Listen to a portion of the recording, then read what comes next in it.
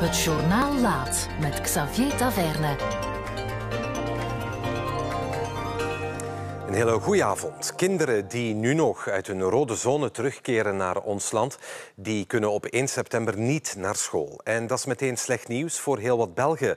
Want populaire vakantiebestemmingen in Spanje, zoals de Balearen met Mallorca en Ibiza of Madrid en Almeria, maar ook een deel van de Provence in Frankrijk kleuren sinds vandaag rood. En dat betekent testen en verplicht twee weken in quarantaine. Op de luchthaven van Zaventem zijn vanavond een aantal Belgische gezinnen teruggekeerd uit Mallorca, een van die nieuwe rode zones in Spanje. De kinderen van die gezinnen missen dus de eerste week school, want ze moeten tot 5 september in quarantaine gaan. Al heeft dat ook voordelen, vinden ze zelf.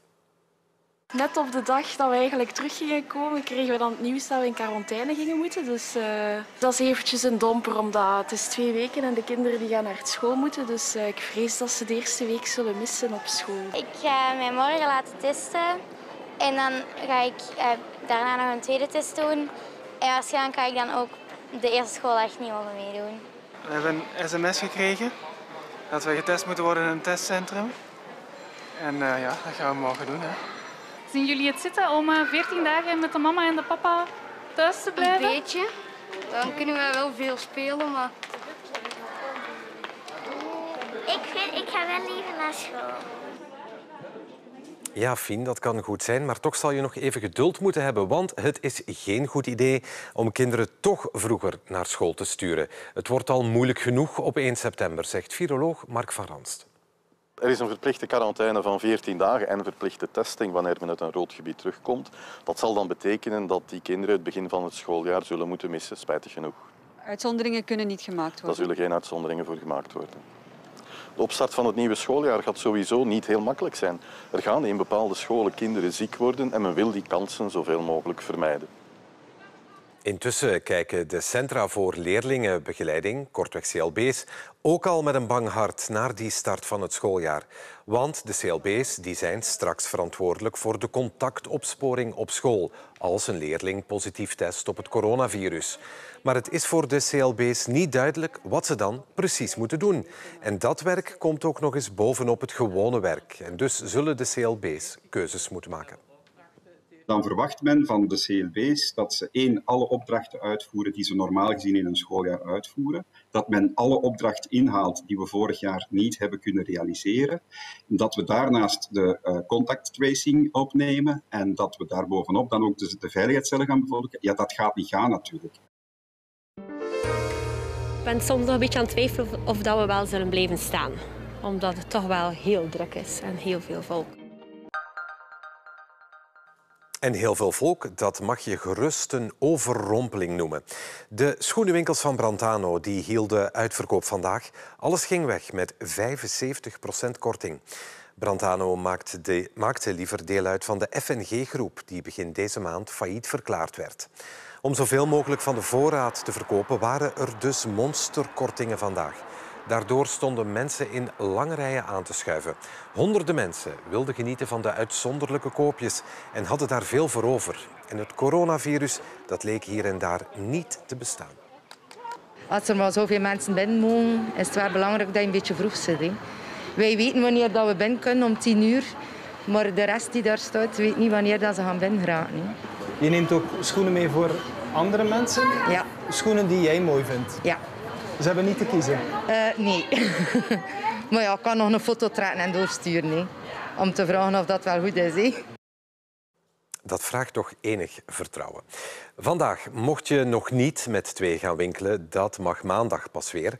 Maar veel koopjesjagers nemen het niet zo nauw meer met die maatregel. Dat konden we zelf zien in Roeselare. Mijn mama is net daar binnen gaan en ja, ik moet buiten wachten omdat de coronamaatregelen nog zo zijn? Ja, en ook voor de drukte, zodat het niet al te druk wordt voor andere mensen ook. Maar lang niet iedereen denkt er hier nog zo over. In deze winkelstraat zien we toch heel wat koppels samen een winkel binnengaan. Alleen de winkel? Ah, ik dacht al dat er met twee uh, was. Dat is vanaf maandag? Ah, vanaf maandag, ja. Dus alleen naar de winkel, ja. Je hebt er al tegen gezondigd? Uh, ja, ik heb er al tegen gezondigd. Ja, wij zijn nu onderweg voor een trouwkleed. Is dat inderdaad moeilijk om alleen uh, naar een trouwkleed te gaan. En dan gaan we inderdaad wel met twee uh, gaan kijken om een trouwkleed. Ik heb het uh, heel eentje volgehouden, maar nu het schooljaar uh, komt op hang en ik had toch nog wel een aantal dingen nodig. En zo zijn we toch even samen op stap gegaan. Rechts binnenkomen, eerst handelsmaten en afstand bewaren, alstublieft.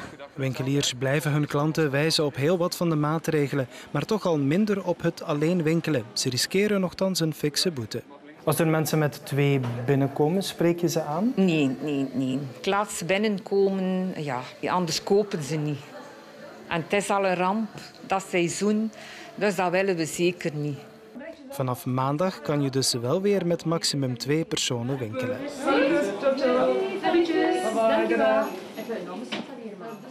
Er zijn in ons land opvallend minder kankerdiagnoses dan een jaar geleden.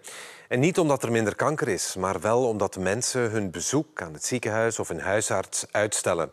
Maar dat is geen goed idee, dat zeggen kankerspecialisten. Sommige mensen hebben schrik om naar het ziekenhuis te gaan omdat ze bang zijn om het coronavirus op te lopen. Maar dat is niet verstandig. Door te wachten met klachten komen patiënten te laat in het ziekenhuis. En daardoor is de kanker waar ze aan lijden al in een vergevorderd stadium. En dat is gevaarlijk, zeggen specialisten. Ik ben hier radiotherapeut-oncoloog, maar ik hoor het ook van goede vrienden in de urologische chirurgie, in de, de borstkankerheelkunde en oncologie, dat we veel grotere tumoren zien. Uh, ja, tumoren waarvan zegt, dit, dit, dit zou toch niet meer mogen, dit is niet meer van deze tijd. Beelden die je niet vergeet. En zolang het coronavirus niet uitgeroeid is, zullen we creatief de grenzen moeten aftasten van wat er mag en vooral verantwoord is. Massaconcerten bijvoorbeeld, dat lijkt nog niet voor morgen. Al hebben ze in Duitsland wel al eens gekeken of het toch niet mogelijk is. En dat gebeurde aan de hand van een experiment van de Universiteit van Halle. Die organiseerde een optreden in Leipzig, in een zaal en met veel mensen, om na te gaan hoe een massaconcert coronaveilig georganiseerd kan worden. Meer dan 2000 mensen nemen deel aan het experiment in Leipzig. Alle deelnemers moeten hun temperatuur laten meten en een negatieve coronatest kunnen voorleggen. Tijdens het concert moeten ze een mondmasker dragen. Ons is einfach wichtig, dat er wieder Veranstaltungen stattfinden können. Und wenn wir da irgendwie einen kleinen Teil dazu beitragen können, ist gut. Ja, das Wichtigste ist halt irgendwie Erkenntnisse zu gewinnen, mit denen wir dann irgendwann wieder Richtung Normalität gehen können äh, wieder zu Konzerten gehen, zu Sportveranstaltungen gehen können, einfach mehr Freizeit halt einfach haben. Het optreden wordt verzorgd door een Duitse popzanger. Er worden drie verschillende scenario's uitgetest. De wetenschappers hopen zo informatie te verzamelen over de risico's op een besmetting bij een grote manifestatie. Na afloop van het experiment tonen de wetenschappers en de zanger zich tevreden. Für mich war es tatsächlich ein überraschend gutes Gefühl, ähm, weil ich schon irgendwie damit gerechnet hatte, dass es sich alles ein bisschen steriler anfühlt, wenn alle mit einer Maske vor einem sitzen und es dann doch irgendwie eher einer Versuchsanordnung gleicht als ähm, dem normalen Bild, was man als Künstler so sieht. Ähm, aber das hat uns richtig Spaß gemacht. De resultaten van het onderzoek worden in het najaar verwacht. De directeur van de luchtvaartpolitie, Danny Elst, moet een stap opzij zetten. Hij moet plaatsruimen nadat er deze week beelden opdoken van een hardhandig politieoptreden op de luchthaven van Charleroi. Danny Elst was op het moment van de feiten in februari 2018 officier van dienst en hij zou toen die beelden ook al gezien moeten hebben. Onderzoek zal nu moeten uitwijzen of dat ook zo is. Het is niet voor het eerst dat Danny Elst in opspraak komt. Drie jaar geleden kwamen wantoestanden aan het licht bij de dienst repatriëringen, waar hij ook de baas van was. Maar toen kon hij wel aanblijven. De gezondheidstoestand van de Russische oppositieleider Alexei Navalny is zeer zorgwekkend. Dat zegt de organisatie die Navalny met een vliegtuig van Omsk in Rusland heeft kunnen overbrengen naar Berlijn. Volgens zijn medestanders is Navalny vergiftigd, maar de artsen in Omsk spreken dat tegen. Na twee dagen getouwtrek is oppositieleider Navalny vanmorgen met een ziekenwagen naar de luchthaven in Omsk gebracht. Op foto's is te zien dat Navalny een mondmasker draagt. Hij is in een kunstmatige coma gebracht. Gisteravond kreeg de familie groen licht om hem over te brengen. Бригада посчитала его э, возможным перевозку. Они гарантировали, что они его довезут до э, указанного места назначения, то есть там, Берлин, как мы понимаем. Да? De NGO Cinema for Peace had met giften een privéjet geregeld met alle medische voorzieningen aan boord om Navalny naar Berlijn te vliegen. Also sein Gesundheitszustand ist sehr besorgniserregend. Wenn er auf dem Flug nach Moskau ähm, nicht, also wenn es diese Emergency-Zwischenlandung nicht gegeben hätte, dann wäre er gestorben. Artsen in het Berlijnse Charité ziekenhuis onderzoeken Navalny op dit moment om hem gepast te behandelen. Daarna moeten ze proberen een antwoord te vinden op de vraag of hij echt vergiftigd is of niet. In de hoogste klasse van het voetbal zitten we alweer aan speeldag 3. AA Gent is nog altijd op zoek naar zijn eerste punten van het seizoen. En het hoopte vanavond met de nieuwe trainer Laszlo Beleuni de winst mee te pakken uit Antwerpen. Maar dat is niet gelukt. Gent verloor met 1-0. Beleuni en de Dekker op de bosuil. Dat klinkt vertrouwd, maar wel in de Gentse dugout. Dat is toch wat een vreemd zicht. Misschien is het voor Antwerp-aanvoerder Faris Haroun ook wel wat verwarrend, want hij mist deze enorme kans na amper drie minuten spelen. Maar het duurt niet lang vooraleer Haroun zich herpakt. Een erg mooie voorzet naar Dieu Merci Mbokani en de topschutter van vorig seizoen kopt Antwerp op voorsprong. Gent is dan enkel gevaarlijk via dit schot van Castro Montes, maar Jean Buté pakt mooi. Beleuni moet tijdens de rust een ander plannetje bedenken.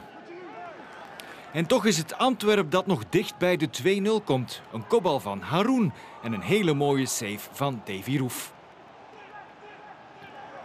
Gent probeert dan nog wel, maar echt dicht bij een gelijkmaker komen ze niet meer. Beleuni moet afdruipen en doet dat met een 1-0 nederlaag. En er waren nog drie wedstrijden vandaag. Cercle Brugge ging winnen op het veld van KV Mechelen met 2-3. Charleroi blijft maar winnen, dit keer op het veld van Leuven met 1-3. En Zulte Waregem won met 4-1 van Waasland-Beveren. In de stand staat Charleroi dankzij de winst vanavond met 9 op 9 bovenaan. Maar Beerschot en Standaard die spelen morgen nog hun wedstrijd van de derde speeldag. Zulte Waregem springt van de laatste plek naar de middenmoot en Gent bungelt troostlos onderaan met 0 punten. Mag Delphine Persoon zich straks de beste boksvrouw ter wereld noemen?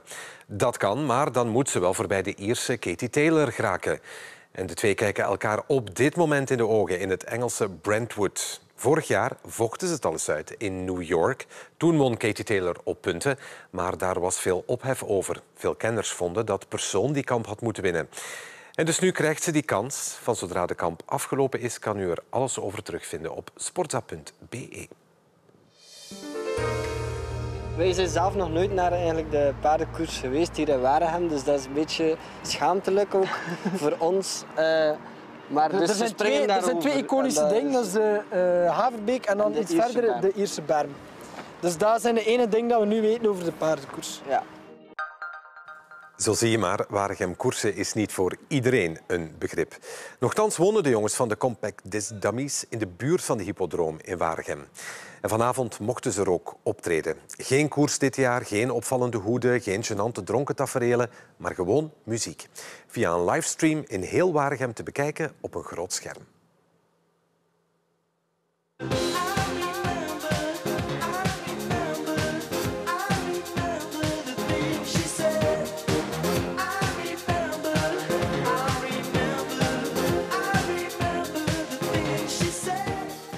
Beetje als een grote repetitie, maar dan met het repetitiekot deur open. Je hebt eigenlijk nooit een instant reactie van je publiek. Dus dan moet je echt achteraf horen van mensen of dat leuk was of dat goed klonk. Uh, en normaal tijdens een optreden voedt de energie van het publiek u wel meer om, om zo'n ding te doen. Het publiek kijkt nu thuis of op een van de grote schermen in Waregem. In het cultureel centrum staat er een en ook in drie kerken. We dachten eigenlijk dat ging buiten zijn, maar ja, door het weer kan het ook niet. En het is ook wat anders in de kerk. Dat is wel leuk. Het mij zo pijn dat we daar niet bij konden zijn.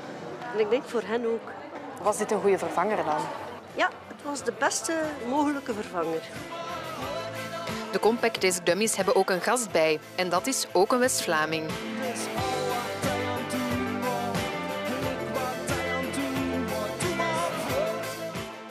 Ik hoorde dat ik uh, mocht komen meedoen, was ik, uh, was ik uh, blij als een klein kind. Ook omdat het met compact disc dummies is. Dat is iets raar onder West-Vlamingen. Wij zijn zo gewoon om gewoon binnensmonds te klappen. En als we dat niet kunnen doen, dan hebben we het gevoel dat we, dat we ons een beetje anders moeten voordoen. En als dat dan onder West-Vlamingen is, dan voelt u wel op uw gemak.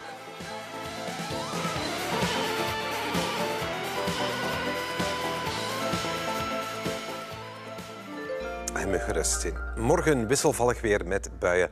Maxima rond 21 graden en een strakke zuidwesten tot westenwind. En als u dacht dat de bestorming van Brantano niet geëvenaard kon worden, dan moet u toch hier eens naar kijken. Beelden van de opening van een elektrozaak in Taquara in het zuiden van Brazilië. De elektrozaak had misschien net iets te veel reclame gemaakt voor de openingsdag. De directie had naar eigen zeggen alle nodige coronamaatregelen genomen. Vermoedelijk zit er geen leugendetector in het aanbod van de winkel. Slaap zacht.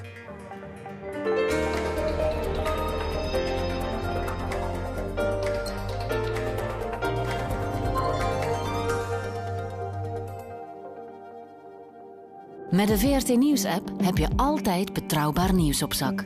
Download nu gratis onze app.